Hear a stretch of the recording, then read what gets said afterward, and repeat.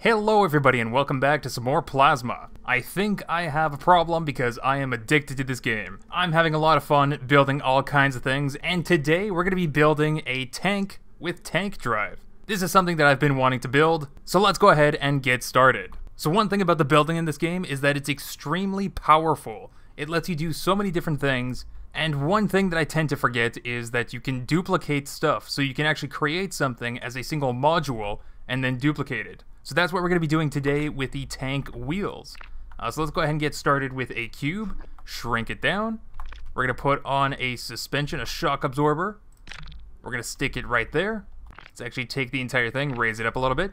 Uh, then we're going to stick another cube on the bottom, shrink it down. Then on that, we're going to stick a motor and then on the motor, we're going to be putting ourselves a wheel. And let's go ahead and uh, scale that up to maybe 200%. So we're to get ourselves a nice big wheel. As a matter of fact, let's just go 300%. Why not? 300% wheel on a shock absorber. So I have this entire wheel setup with suspension connected to this cube as the root of the device. But we're just to leave this floating here for a little bit. Because now we're to put another cube right here, shrink it down, and this is to be the side of our tank. The tank tread, so to speak. So we're just to increase that to be, oh, I don't know, maybe three, three meters? Something like that. So the next step, we're to go ahead and grab this entire uh, module thing that I built, this wheel setup, and we're to go ahead and attach it here. And if I middle click, it will place and clone the part. So now I can go ahead and place more than one. So I'm to go ahead and place uh, two more over here just like this. And then two more over here, just like this.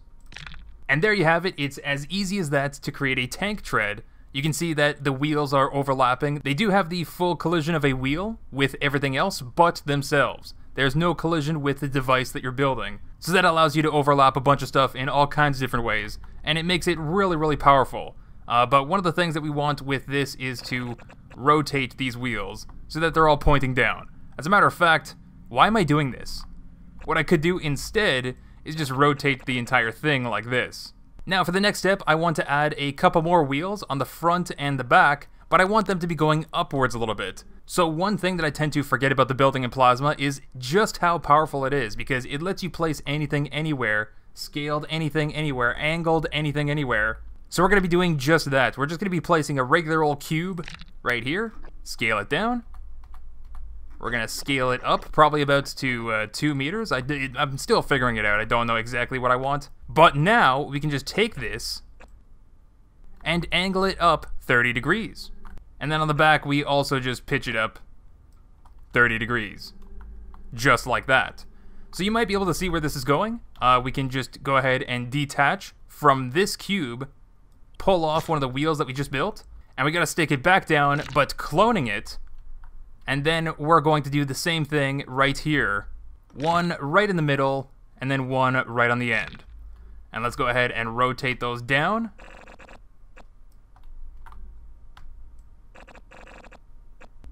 Just like that.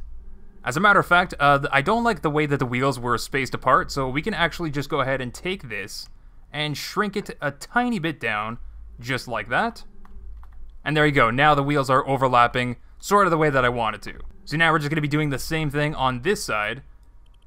Take off the wheel. Place and duplicate. Place and duplicate. And then for the final one, just place it down. And then we just rotate them down. Rotate it down. Rotate it down. And let's uh, shrink that down a little bit as well. So there you go, it's as easy as that to get an entire tank tread ready to go. Now for the next step, we're gonna get uh, a, just a cube, just a regular old cube. This is gonna be the base of our tank. Uh, we're gonna make it, um, I don't know, maybe two and a half meters wide by three and a half. What is the what is the length here? Three meters in depth, huh? We'll make this one uh, match that. Three meters depth. So now that I have my tank base ready to go, uh, we're going to be doing the exact same thing as before. We're just going to grab this entire side of the tank. This is going to be my left side of the tank. And we can go ahead and place it right in the middle and duplicate. So now I can place the right side of the tank, super easy peasy. This is just how powerful the building is. So let's go ahead and rotate that into place, rotate this into place, and there you go. I have full tank treads built and ready to go with this cube right here as the root of my entire device. Let's just go ahead and quickly add some weight. I don't know exactly how much to give it, just some some kind of mass to make it a nice heavy bottom for the tank. So if I go ahead and activate the device, oh yeah, look at that. that that actually looks so beautiful. Man, I love this. And of course, if you want to add some more cubes in the front, it's as easy as before. You stick on a cube, you scale it to how you want it to be. Just like this. Just like this. And then all you gotta do is pitch it upwards to match the angle. So easy, so easy peasy to do. And probably the best way about doing it like this, uh, you don't actually have to use a ramp to get a angled edge to build off of. You can just angle whatever you want. And so then that lets you build on the grid of a flat side of a cube that is angled itself. It's as easy as that to get a base for your tank.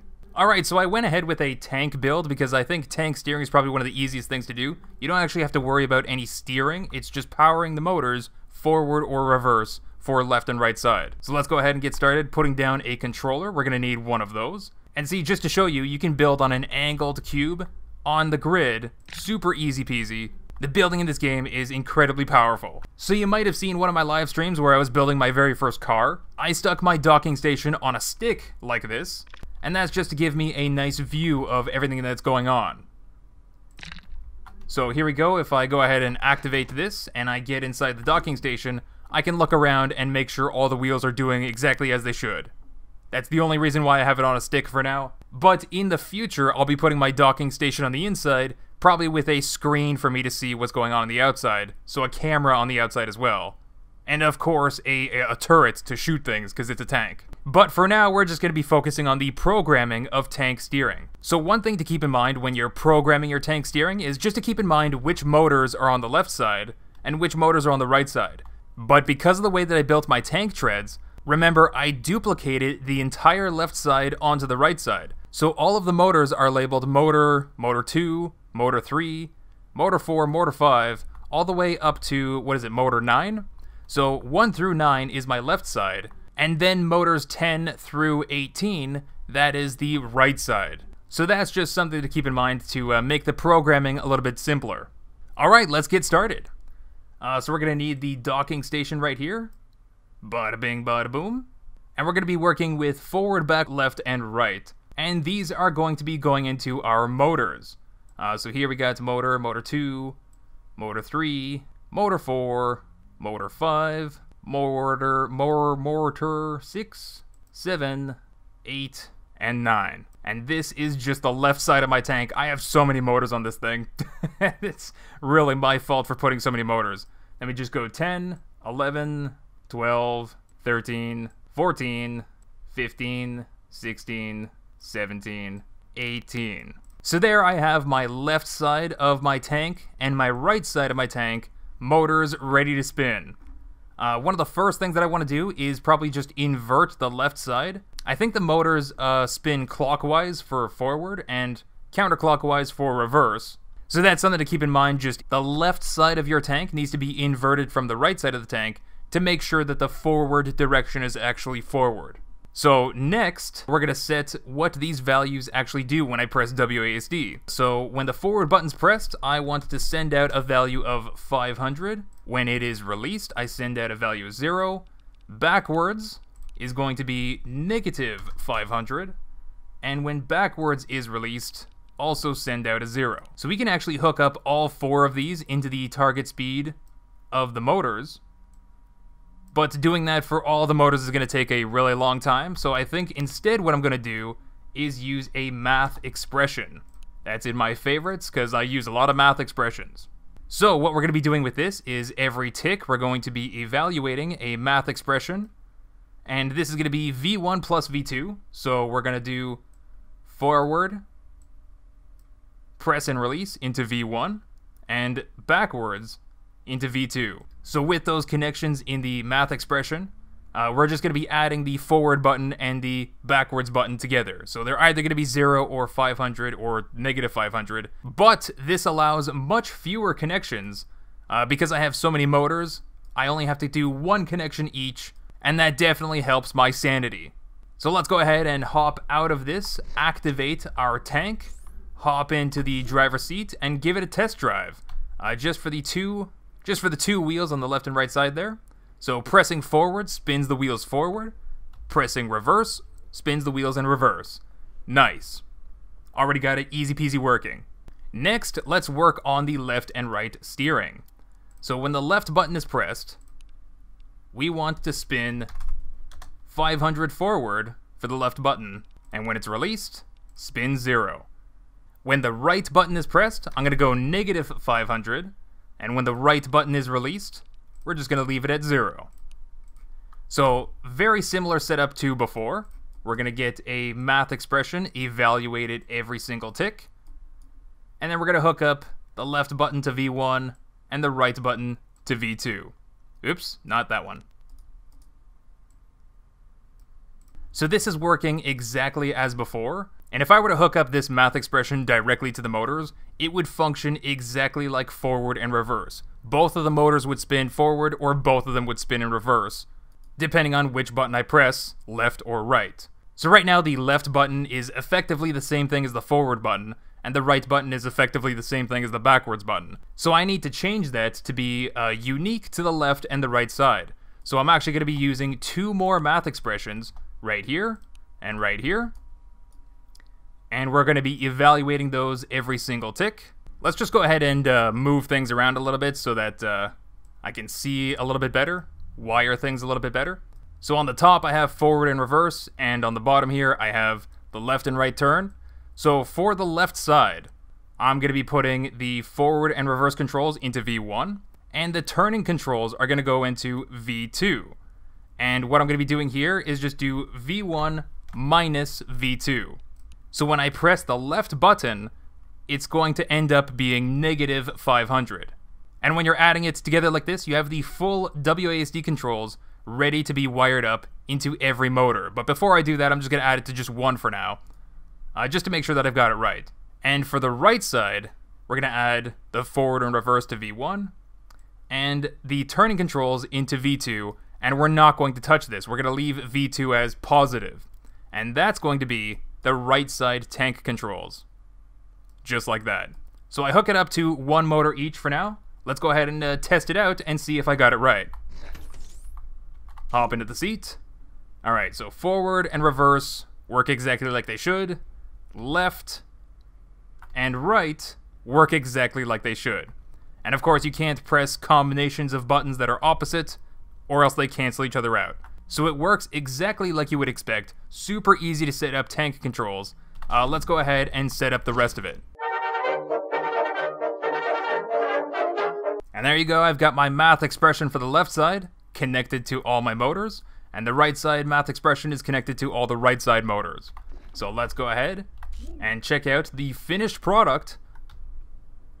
Left side, right side, all the tank treads are working exactly as expected. Forward, reverse. It's working, oh boy, a little bit too effectively. and I would like to see this tank in action a little bit better, so let's go ahead and uh, modify this a little bit to change my seat position. That's another thing that I love about this game is that you can really just uh, change things on the fly without breaking your entire creation. So we're just going to add a cube out this way, a little uh, beam, little rod, and we're going to do the same thing right here. Just like that. And now I can rip off this seat and place it back on here without destroying all the programming that I just did. There you go. There you go, and like that, when I get into the docking seat, now I can get a good view of my tank and see exactly what it's doing. Oh boy, my engines might be a little bit too fast. But hey, look at that. It's a working tank, working tank treads. Oh, it's working beautifully. You can see the wave. you can see the wave go through all the wheels and shock absorbers.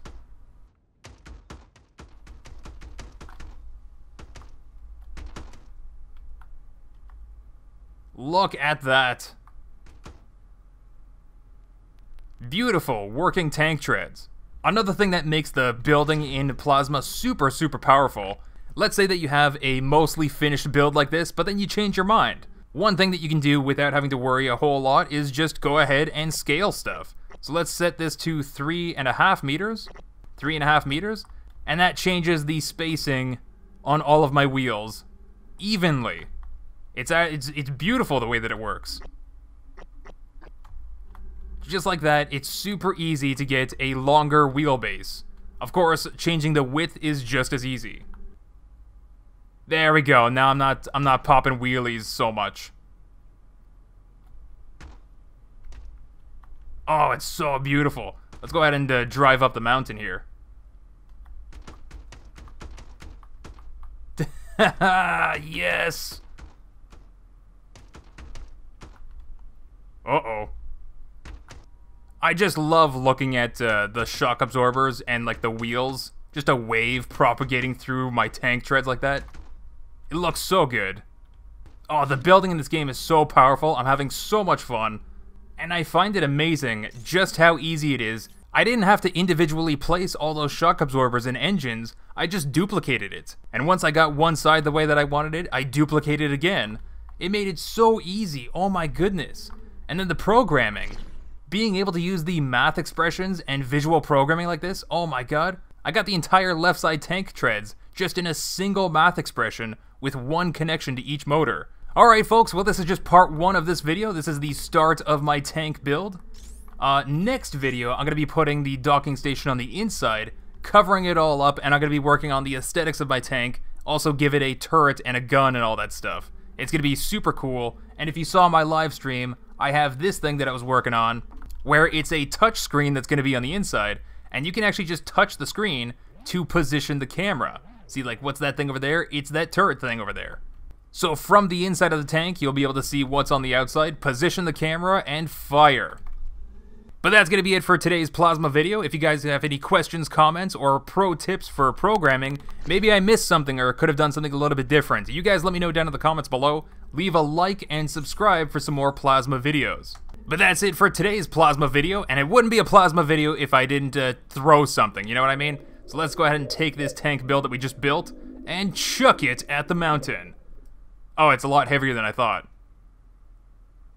Alright, turret thing, you're gonna be chucked. Pew! That is not where I was pointing. Alright, well, but that's it for today's video. Thanks for watching. I'll see you guys in the next one.